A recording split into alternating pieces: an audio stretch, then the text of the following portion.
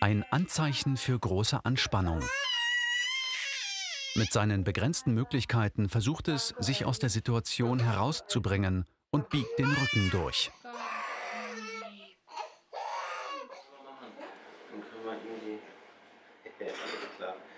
Okay, Buch ist nicht. So.